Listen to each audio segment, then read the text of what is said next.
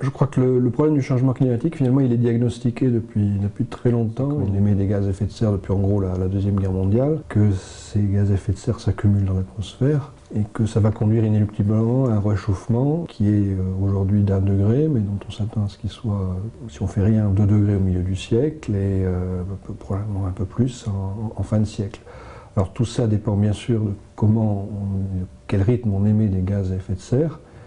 Euh, et là, il y a effectivement un, levier d'action. C'est un levier d'action collectif. C'est ce qui en fait toute la difficulté, qui met en cause euh, beaucoup de, nos euh, systèmes économiques ou euh, industriels actuels, ou de, encore nos structures de, dans le transport, d'habitat. Donc il y, a, il y a une prise en compte qui est, large, lourde, difficile pour, euh, essayer de remédier à ces problèmes. J'en ai de plus en plus conscient qu'il y aura des conséquences inévitables du changement, quoi qu'on fasse maintenant, et qu'il faut non seulement se préparer à réduire au mieux ces émissions de gaz à effet de serre, mais aussi à s'adapter à la part inévitable des changements climatiques. Et d'ailleurs, les deux ne sont pas incompatibles. Il y a beaucoup de mesures qui peuvent servir à la fois à diminuer les émissions de gaz à effet de serre et à s'adapter à un climat qui serait, qui serait changé.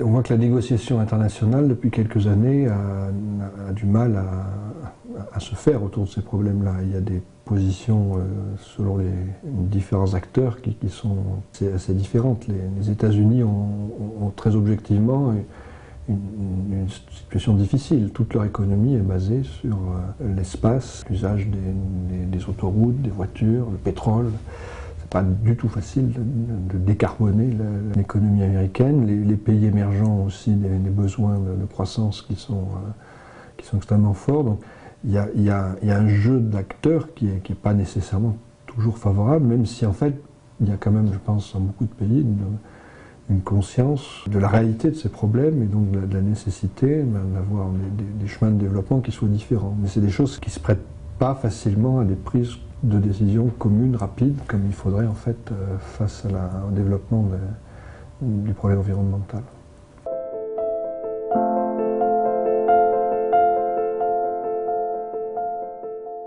En fait, on a, une vraie euh, difficulté qui est le problème climatique, on l'appréhende bien à l'échelle globale on a des gaz à effet de serre qui sont mélangés à l'échelle de la planète et on sait que ça a un niveau de réchauffement qui va se distribuer, impacter plus fortement les pôles. On a un certain nombre d'idées sur la, manière dont ça peut agir globalement sur le système climatique. On a beaucoup plus de difficultés à appréhender les conséquences régionales autrement que sous une, manière très largement statistique, avec des, des, statistiques en fait très ouvertes, avec des futurs possibles à un niveau régional qui sont, euh, qui sont assez différents les uns des autres. il faut faire très attention à ne pas interpréter ça comme un signe complet d'ignorance. On sait que les choses vont changer, on ne sait simplement pas bien comment. Et on ne sait pas non plus jusqu'à quel point la science pourra nous aider dans le futur. C'est-à-dire que euh, à ce niveau de, euh, développement scientifique, on peut imaginer que on ait des progrès scientifiques, par exemple sur le rôle des nuages, qui nous amènent à des prévisions euh, plus, euh, plus précises dans, mettons, 10 ans, qu'on soit capable de, simuler beaucoup mieux les conséquences régionales. On peut penser aussi qu'il y a dans, un système climatique qui est tellement complexe, tellement non linéaire, tellement des, euh, des, systèmes qui sont tout simplement non prévisibles. Et, donc, on est un petit peu face à, un carrefour en termes de prévision scientifique. Je pense que ça oblige à, réfléchir euh, de manière assez approfondie à quel type de, solution d'adaptation on veut mettre en place.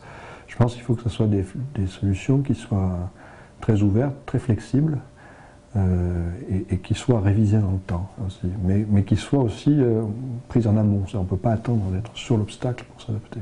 Je pense qu'il faut, il faut néanmoins faire des choix, prévoir des, prévoir des situations, mais il faut les prévoir avec, une, euh, avec euh, un sens de la préoccupation qui soit ouvert sur des scénarios multiples.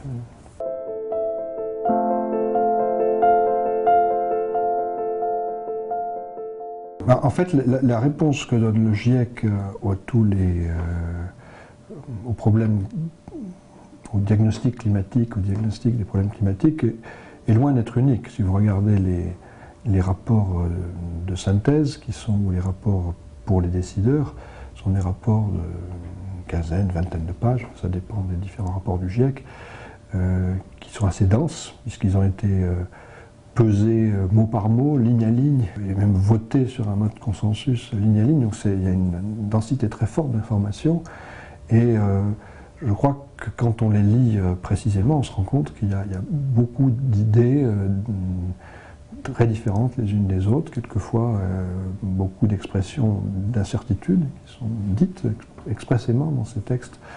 Donc il y a un accord, mais c'est un accord aussi sur les points de désaccord.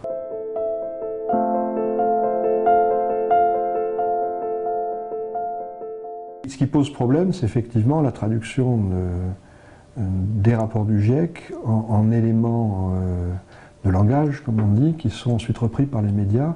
C'est pas tellement le GIEC qui fait ça, c'est souvent les médias qui choisissent certains éléments de langage euh, et, qui les répètent, et il y a une certaine confusion entre le rapport du GIEC et la transmission qui en est faite.